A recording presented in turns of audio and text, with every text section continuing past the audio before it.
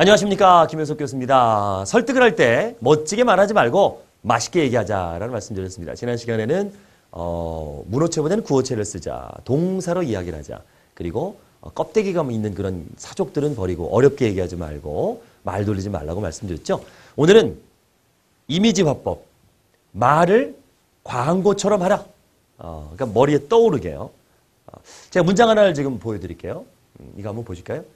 지난주 크리스마스 때 엄마는 내 방문 앞에 빨간 선물 상자를 아무도 모르게 갖다 놓으셨다라는 문장이 있습니다. 이렇게 얘기했을 때 과연 얼마나 사람들은 기억할 수 있을까요? 이걸 이미지 화법으로 그림 그리듯이 광고 찍듯이 한 커트 한 커트씩 얘기해 보겠습니다.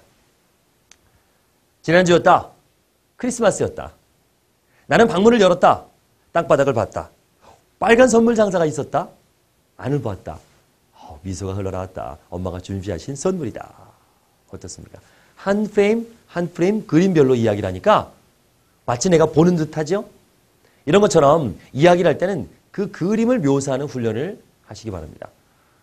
이번에는 영화 감독처럼 한번 표현을 해보자. 영화 감독이 되면 작가가 써준 대본에 지면이 있습니다.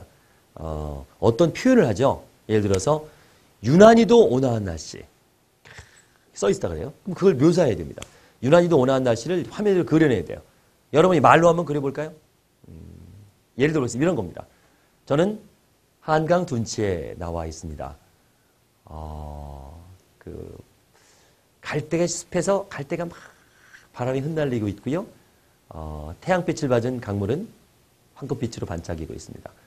아, 아지랭이가 보이고요. 나비가 나네요. 잔디밭에서 아이들이 반소매를 입고 날씨가 훈훈한지 밤소매 입고 마구 뛰어다닙니다. 아, 삼삼오 모여서 팔베개를 하고 또 무릎베개를 하고 누워있는 연인들도 보이네요. 이렇게 하면 뭔가 온화하고 좀 그런 날씨의 느낌이 나죠? 근데 문제가 있어요. 유난하게 온화한 건 뭘까요? 여기서. 온화한 날씨를 했는데 유난히 온화한 날씨. 힘들죠. 그래서 우리가 이런 사족들, 쓸데없는 부사들이 오히려 어, 표현력을 떨어뜨릴 수 있습니다. 그냥 온화한 날씨에도 된다는 거죠. 이런 문장은 어떨까요? 여느 때처럼 아침에 냉장고에서 우유를 꺼낸다. 여느 때처럼 아침에 냉장고에서 우유를 꺼낸다는 문장이 있습니다. 이거를 바꿔보겠습니다. 이런 문장보다는 이런 게 어떨까요? 아침이다. 냉장고로 간다. 우유를 꺼낸다. 이렇게 얘기하는 거죠. 아침이다. 냉장고로 간다. 우유를 꺼낸다. 이런 식으로 뭔가 어, 한 프레임 한 프레임 내가 그림을 그리듯이 얘기를 한다면 내가 그렸기 때문에 상대방도 똑같은 그림을 그릴 수 있는 거거든요. 그래야 더 오래 기억할 수 있습니다. 자 마지막으로 어, 간접 화법보다는 직접 화법이 구체적이고 설득에 효과적입니다. 예를 들어 볼게요. 그가 배가 고프다고 말한다. 이런 것보다는 직접 화법으로 바꾸는 겁니다. 그는 말한다. 나 배고프다. 또는 그가 말한다. 배고파. 이 직접 화법은 주어를 생략해도 됩니다. 그가 말했기 때문에 배고파. 이게 더. 그 표정 드시는 거죠. 배고파. 이렇게 했을 때 더 확 와닿죠? 이번에는 제가 문제를 드릴 테니까 한번 바꿔보실래요? 자, 여기 문제가 있죠? 그는 나에게 철수에게 가라고 설득했다. 그는 나에게 철수에게 가라고 설득했다. 이거를 갖고 직접법으로 바꿔보십시오. 바꿔보세요. 아마 대부분 그럴걸요? 그는 나에게 설득했다. 철수에게 가.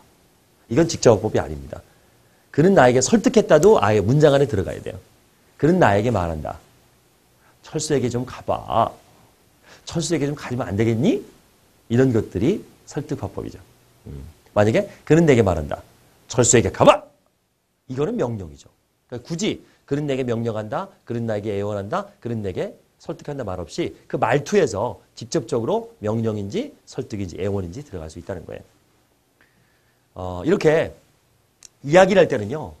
살아있는 듯한 생동감 있는 이야기를 하시기 바랍니다. 말을 돌리지 마시고요. 직접적으로 말씀하시고요. 그리고 이미지 화법으로 말씀하시면 여러분들도 설득의 달인이 되실 수 있습니다. 고맙습니다.